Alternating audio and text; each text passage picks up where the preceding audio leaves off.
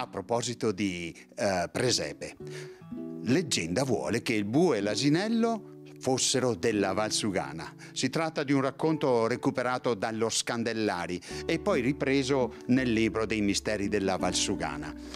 Nato il bambino, il bue e l'asinello si avvicinarono ancor più a Gesù bambino, scaldandolo col profumo della fienagione della Valsugana. Poi, come tutti ben sappiamo, Re Erode diede ordine di uccidere tutti i bambini, quelli fino all'età di due anni.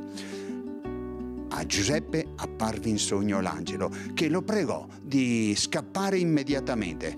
Il bue e l'asinello che conoscevano la strada accompagnarono eh, la natività fino alla Valsugana, ma i soldati di Erode, secondo leggenda, riuscirono ad inseguirli fino fin quassù. E allora, arrivati nelle zone di Grigno e del lago di Caldonazzo, i due animali sviarono gli inseguitori, mentre Gesù, Giuseppe e Maria si nascosero accanto a un castagno enorme. Questo si aprì, accogliendo nel suo interno i tre e poi richiudendosi. Quando i soldati capirono di essere stati depistati, eh, abbandonarono ogni velleità tranne l'ultimo che scocciato scoccò una freccia proprio addosso al Castagno dove si era rifugiata la famiglia di Giuseppe, Maria e Gesù.